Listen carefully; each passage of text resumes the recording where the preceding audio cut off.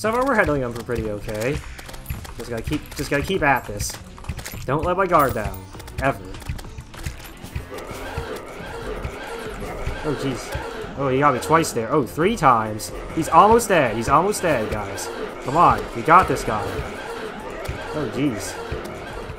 Alright, alright, alright, everyone. My name is Echo Tango, and welcome back to Terraria. So, as you can definitely tell here, we have found ourselves a pyramid. I actually happened to find this from the underground, as you can tell, where it's right here. I found this by doing a lot of exploring and yet, this pyramid is completely buried in the desert, so I would not have known it existed in the first place had I not found it in the underground. So I thought I just want to go ahead and show you that. Ah, here we are. Here's the treasure room. Let's go ahead and take a look inside.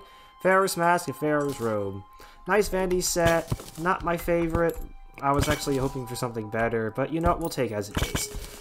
So, other than that, I've just been doing a lot of exploration, just, well, of course, just of the underground, and of course that obviously means a lot of off-camera work, and here, you can tell this is how buried the pyramid is. So yeah, a lot of off-camera work as I was saying, um, some of my inventory is a little different. I found a compass underground, of course, by killing enemies, and also I went ahead and equipped myself some gold armor, and I bought this G off the Traveling Merchant when he visited, and I, and I also made the sunglasses. I think... Did I make the sunglasses last episode? I can't remember. Also, I should... I don't know why I completely forgot about this, but I had a sapphire hook this whole time, because I made it last episode, but I completely forgot to tell you guys about that. But anyways, what's on our agenda for today? Well, I would actually like to, first and, first and foremost, show off a few other new things I found in the past. I'm gonna first go ahead and try to look for it. I found a gem tree down here, first and foremost. So let's go ahead over go ahead over there now. You know, I really hate it when I happen to find all this new stuff, but I'm not recording at the time for me to show you guys because I had either finished the episode or it, it just happens that way, right? Or I'm just doing off-camera work other time you know, just to prepare for future episodes. Alright, so here we are. Here's this interesting looking gem tree that we found. Let me go ahead and take care of this crawdad first. Very annoying little critters, and he, oh Jesus, took a lot of my health off. And so apparently, these things, they just grow underground, and you can just, of course, just like any normal tree, take an axe to it, chop it down, what do we get? So we got sapphire Gemcorn, sapphire, and some, well, no, just just these two things, and also some stone. I just I noticed it dropped some stone, and so from what I come to understand is that you actually have to plant those underground. So that's actually kind of a nice way to farm some gems if you, since they're they're not the easiest things to find, but that's actually really nice that the devs are actually letting this happen. We can go ahead and farm gemstones, and that's actually really nice for mage players because mage players have to always start off with some gem weapons, gem staffs, gem robes, and all that. Another thing I found down here, let's see if I can take it to you guys, is... Oh, there's another gem tree down there. I should go... I'm probably to go chop it up another time. Well, well, other than the, uh, the granite biome that I found here. There's, um, something else entirely. It's all this. Oh, I just found a Let's see if I can try to mine this as fast as possible without drowning. Okay, so, yeah, we found this really interesting looking glowing moss area down underground. This is actually how much it encompasses. That's quite a lot. Some some of it is filled with some of it is filled with water, others is not filled with water. Interesting to find it by a mushroom, not mushroom, but a granite biome. And, well, that's pretty cool, I thought. But I'm just gonna do my thing first, and then we're gonna head back up, and I'm gonna let you guys know what the agenda is for today. Alright guys, we're back at home here, and let's go ahead and talk about the rest of the day, what I'm planning to do for this episode. So first thing I would actually like to do is I would actually like to have a goblin invasion, because I think, you know what, it's about time we should get some goblins, get a goblin tinkerer, start working on our accessories here, because what we have so far, it's nice, but combining it all together would be even nicer. Also, um, another thing I would like to do after the Goblin invasion is fight our first boss, and I'm thinking Eye of Cthulhu right now. But we could also, if we have time, we might be able to do King Slime. I do have something at the, I do have a gold crown at the ready. I just need to go over to the, to a Crimson Altar. But, um, and another thing... Or, actually, about the Crimson Altars, and I think I'm gonna go ahead and make another slime crown, or another gold crown, just in case. Because you never know. You never know how tough these bosses are gonna be. Now here's the thing about the Crimson Altars, is that I look around my map, there is not a single Crimson Altar anywhere in my vicinity. And the only Crimson Altars I do know of are in the Crimson biome. Unfortunately, that's the case, which means we have to head over there anyway. But we do actually need to head over there anyway, because one of the conditions for a um, Goblin invasion is that we actually have to destroy Crimson Heart. So, of course, we actually do have legit reasons to go over there, which is nice. And, of course, the other condition would be 200, 200 health or higher.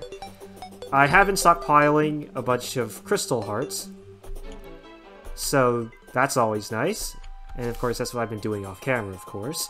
So, once we get back to the base, and after I've destroyed that, um, destroyed a Crimson Heart, and also made some Slime Crowns, then we'll go actually go ahead and consume all those um, Heart Crystals, and then hopefully we'll get a Goblin Invasion to occur. This may this may take some days, so I'll probably be I might have to do a lot of skipping. Dang it. Ah, get out of the way, you slime. Dang it. Ah, long journey, isn't it? Unfortunately, that's the case. Also, another thing I did off camera was I made a lot of Jester arrows. I mean, a lot. Look how many. 943 we're at right now, which is pretty impressive. So, I'll just be on my way over to the Crimson Biome. Come on.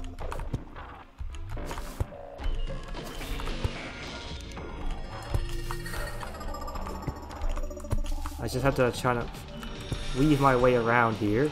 Okay, so now we're finally in the Crimson. Man, thunderstorming out there. Okay, I got to make my make my slime crowns. I gotta make my slime crowns. Okay. Find nearest Crimson Heart. Found nearest Crimson Heart. Bomb it. Okay. We made it to the Crimson Heart, guys. Jesus. Who knew that these operations could be so difficult? But man, we got our Crimson Heart. Horrible chill goes down your spine. We got an Unreal Under...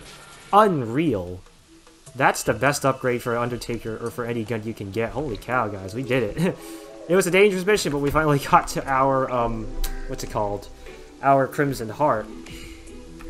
But yep, so as we met one of the conditions, um, so Crimson Heart, and then the last thing I need to do is consume all these heart crystals. I got 14 of them.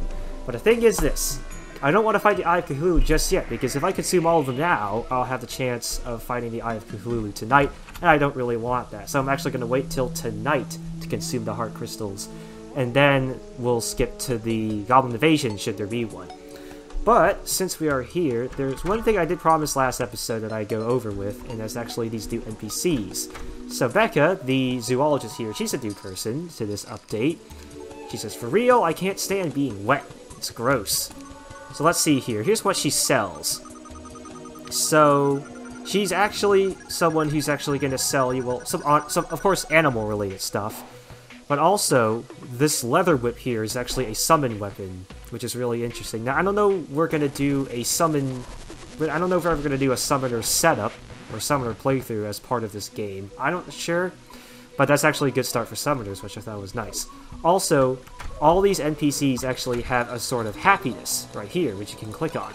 So they all have their, um, well, first of all, they all have their personalities, but they all have their preferences, such as who they want to be with, or what kind of biome they want to live in. So, for example, Becca here, she says, Eek, I hate feeling worried about what will happen with all these people around. I love animals, and naturally the forest is like the best place ever. Yes! I don't like how cruel Danny the Angler is. So, they all have preferences with other NPCs, have preferences with their biomes. So like Becca here, she likes she likes the forest, but she hates Danny the Angler. Not sure if she if there's any particular NPC that she likes. Uh, some of these things they will review to, reveal to you. Other things they may not necessarily reveal to you. Let's go say hi to our to our arms dealer here. If you time it right, no one will hear your gunshots with the thunder uh, because it's thunderstorm. And his happiness is hey, I can't do what I do with so many people watching me. Think Kayla, there's seven, you know, checks me out. I really like to use Dirt and Demolitionists as a ranged target sometime. oh, Jesus. Okay. But so, like like I said, personal preferences, like example, Tyrone, he like he likes sinners, and actually, that was definitely hinted at um, even before this version. So I thought that's just something cool, something new this update has for us. Anyways, I'm just gonna go ahead and wait this day out, and hopefully, um, a goblin invasion will happen. Alright, guys! Goblin army is coming! The Goblin army is coming, guys! We have to go to war! It's approaching from the east. Prepare to back down the hatches, boys, because we got an army coming. So as you can tell, I'm actually putting those blocks in front of every door, or all the exterior doors, just to prevent the gob just to prevent the goblins from breaking them down. I'm not gonna leave this door. not gonna leave. Not gonna block that door off because that's this is where I'm going to come out, and of course they're riding from the east. So come on, goblins, wherever you are, I'm ready. I'm ready for you guys. Come on. They'll take some time to come, but they'll be coming eventually. Eventually. I know some of them will spawn inside the base. You know, the summoners in particular. Oh, here they are. Here they are. Man. Look at them. They they got new sprites and they look so cool. Oh, they're flanking from my from behind. But we're gonna be basically just gonna use this tendon bow with all the with all the um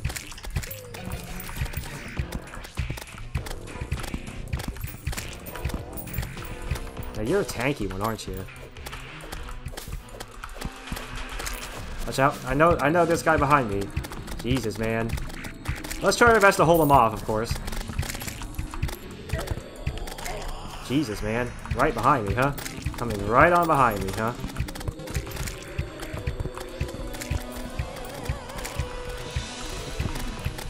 Yeah. Alright, let's see what else you guys got. What else you guys got, huh? Jesus, man. Oh, flank me from the behind, I can tell. I can tell.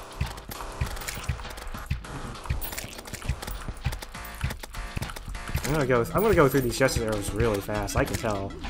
Yeah, they're trying to get at me.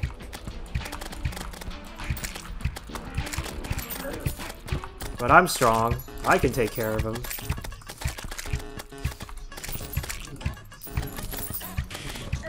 Jesus, he got me there.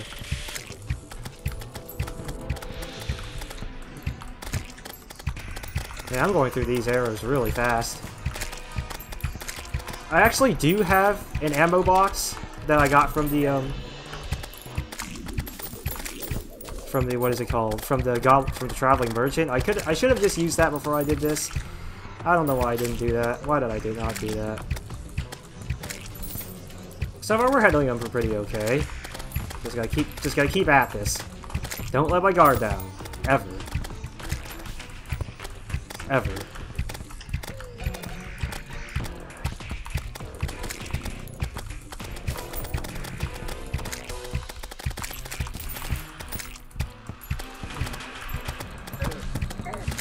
Okay, they're flanking me. Oh, Jesus, they're actually getting to me, huh? Jesus, right behind me.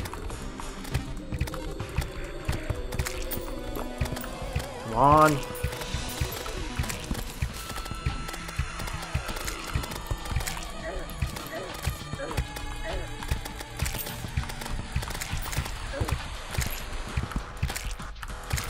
That was close.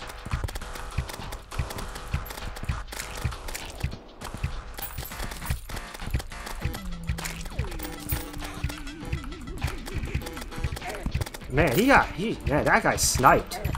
Oh jeez, okay. Oh, oh! Yeah, we actually had a pretty good run there. 77% cleared before before I got killed there, which is nice. Man, they're a lot tougher than I thought. Oh jeez. The Warriors are 330 health alone. Alright. Heal. Let's go. Defend them from the house. Defend them from this house. We'll do this. Okay, we'll be able to hold them back now. These sets arrows do do as well.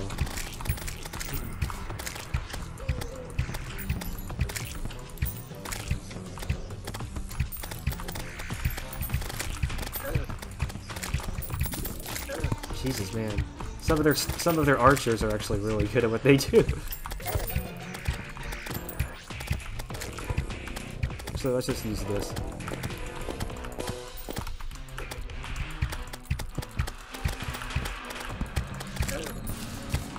Now let your guard down. Except there is an archer back there. Oh, we got him! We took care of him. The army has been defeated. Only now, only the last few guys here will try to take me out, but let's see who's stronger, huh? Yeah. Oh my gosh, we did it, guys! Oh my gosh, we took care of the army. What did we get? We didn't get a whole lot from them. We just got these spiky balls. Should have used my ammo box. I should have used it. I don't know why I didn't get to use it. But now with the army defeated, that means we can go ahead and find the Goblin Tinkerer. So I'm going to take care of a few things, and then we'll go find him. Oh, found him! I found a guy. Oh my gosh, there you are, Mr. Goblin. Thanks for freeing me, human. I was tied up and left by all those other goblins, or left, left, up and left here by all those other goblins. Hey, you can say, oh dang, you can say that they obviously didn't get along, obviously. Now that I'm outcast, can I throw away spike balls and pockets here? Anyways, let's go ahead and shop and finally get the Tinker's Workshop, guys. I've been looking for this for so long. Let's go ahead and get the ruler as well, and the rocket boots. Yeah, that's pretty awesome. And actually, let me see if I can get this worm, because I like getting worms. Hmm, hold on a second. Let me see if I get this worm. And... Gotcha. Alright, now let's head back up to base so I can finally put this all together. Yes, I've been searching everywhere for that guy for some reason. Man, I don't know why it took so long to find. Sometimes they take a while, sometimes not. Anyways, accessories, accessories. Let's see what we can do. So we actually can make tiger climbing gear, which is nice wild tiger climbing gear. And then let's see what else we can do. Hmm. Can I do something with boots? Or do I have to take it out? Oh, I have to take it out first. Okay, Spectre boots? Wait, Spectre boots? Yeah, Spectre boots, guys. And let's see what else we got. We can have Armor Gold Watch. I can actually turn that and turn this, this, and this into the GPS. Angry GPS. That's perfect, actually. Hmm. And then the tiger climbing gear, but I'm not sure what else I could, what, what could I put away? Oh, shoe spikes. I actually, I don't know. I like the extra damage though. Hmm. Well, I would like to like for him to get to get moved in as soon as possible. Where would I put where would I put him though? Hmm. Yeah, that's fine. Let's move him there then. I hope he comes by soon because I would like to get some stuff reforged, of course. Oh my gosh. You understand. That, that goblin invasion, though. I was surprised we did as well as we did. I thought it would go a lot worse, actually, but... Man. It worked out pretty well. Anyways, I hopefully the Eye of Cthulhu will not spawn tonight. That'd be really bad if he did. And hopefully, um, our Goblin Tinkerer can move in as soon as possible, because that would be nice. Alright, Mr. Goblin Tinkerer, let's see if you can reforge some stuff for me, please. Actually, hold on a second. What's your happiness? Crowded triggers bad memories of Goblin War camps. I really hate it. Aptitude a dry trader understands how fun it is to make things together. I can respect that. Alright, well I hope your reforges aren't too pricey. I don't know if I want that Shroomerang anymore because these other weapons are good. First, the Tendon Bow. Let's see what you got. So quick, strong, nah, lazy, Strong again. Lethargic. Staunch. Yeah, I'll take Staunch. I'll, I'll take that for now. Mm, I don't know if I want to keep the Shroomerang, though. Hold on a second. What's up with the lighting? Whoa. What's up with all this? It's like they're like paper lanterns almost. That's really cool. Huh, I thought that was interesting. Now, is that what I want to go with? Do I want to stick with these weapons and hopefully keep up to the keep keep the force. I mean that forceful trident actually really helps me out in the water. You know, let's do it. Let's do it. Um, forceful trident. Damage. Demonic. Okay, I'll take demonic. They're about the same thing, but actually, this is still close range though. But um, it actually does get that does actually manage to get a lot of hits in in the long run, which is nice. Anyways, let's um, make a few more Jester arrows. And let's go ahead and put the weapons away. Yeah. I hope this didn't break the bank. I really hope not. Yeah, we still got a lot of money. No, we're still fine. But anyways, we got upgraded weapons. And you know what, guys? I think it's time to fight the Eye of Cthulhu. Yeah, I'm ready. I feel ready for this, guys. I really do. Anyways, let's get this summon out. Um, we should have enough health potions for this. Um, potions, potions. Let's go with... One second. Let's go with regen, swiftness, iron skin. Is there anything else? Night vision, sure. Archery, yeah, archery's good. Um, no, I don't think I need heart reach for this. Alright, cool. That's all the potions we'll need. Alright, let's go out. I'm excited, man. Oh man, it's been a long time since I actually fought this guy on a play on a on a playthrough. So man, I'm really excited, guys. All right, here we are at the arena. I should have actually should have pointed that out, but I did make the arena off camera, of course. I need to zoom out for this. All right, guys, Eye of Cthulhu, buff up. First, actually, let me take care of this guy first. All right, Eye of Cthulhu, here we go. Now, where are you? Where are you? Let's go. I see you. I see you. I probably should have, um... Yeah.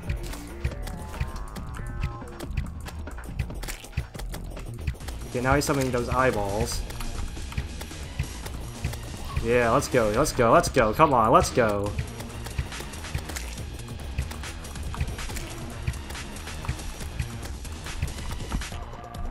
Oh, he got hit there. I should have just Come on, let's go, let's go here. He should be transforming sometime soon. I don't know how soon, though. Oh, there we go. Now he's transformed. Now he's transforming. Oh, he's laying about a bunch of eyeballs. Oh, the heck?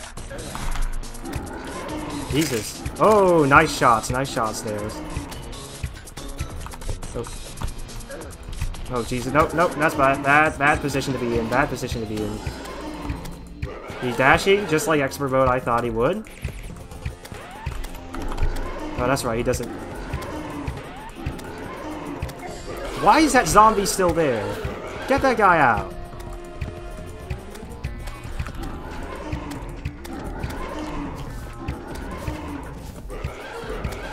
Man. Come on, come on, we got this guy, we got this guy. Oh, dashing, he's dashing. He's dashing.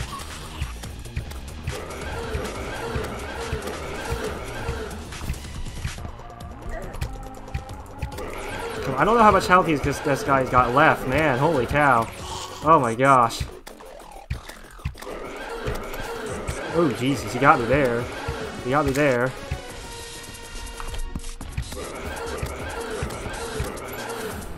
On.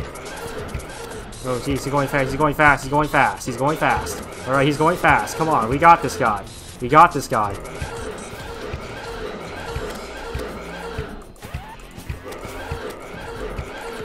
Oh, jeez. Oh, he got me twice there. Oh, three times. He's almost dead. He's almost dead, guys. Come on. We got this guy. Oh, jeez. Oh, my gosh. Okay, now I'm starting to lose health here. Oh, we got him! Oh, my gosh. Ooh, let me get back to base there. Man. Oh, man. It's been a long time since I had an Eye of Cthulhu fight that intense. Last time I actually had it that intense was Revengeance mode. Oh man, and Revenge mode is something else. Oh, we also got Aviators. This is actually exclusive to either Export Expert Hardcore or all of Master, so that's pretty awesome. Enables your inner wingman. Great for impersonating streamers. So now we got ourselves some new glasses. i take those new glasses any day. We also got an Eye of Cthulhu relic, and this is actually exclusive exclusive to Master. I'm surprised I actually didn't use any healing potions, man. And let's see what is in the treasure bag. Got a mask. I always like masks. And we got the usual stuff, so Crimson Seeds, Crimson Ore, and also Arcane Shield of Cthulhu. Yep, the expert mode thing. I don't know where exactly to put that. I'll put it, because this is an important thing, I'll put it right there. And move this back here. Alright, guys. Man, we did it. I gotta say, that's we had a pretty exciting episode today, guys. And also, I forgot to mention that, um, there are also, um, what is it? What do you call them? Exclusive pet items for Master Mode. For each each um, boss has an exclusive pet item. Fortunately, we didn't get it because there's not a 100% drop chance for the exclusive pet. But you know what? That's okay with me. We'll still have other chances with other bosses, of course. But with this, I think I think we've had a pretty good episode today, so I'm gonna go ahead and leave it here, guys. So thank you guys for watching this episode. If you enjoyed it, drop a like down below, lets me know how I'm doing. And if you want to see more of my content, why not hit the subscribe button? It'll me, it'll help out you. So once again, thank you all. Until next time, I'll see you around.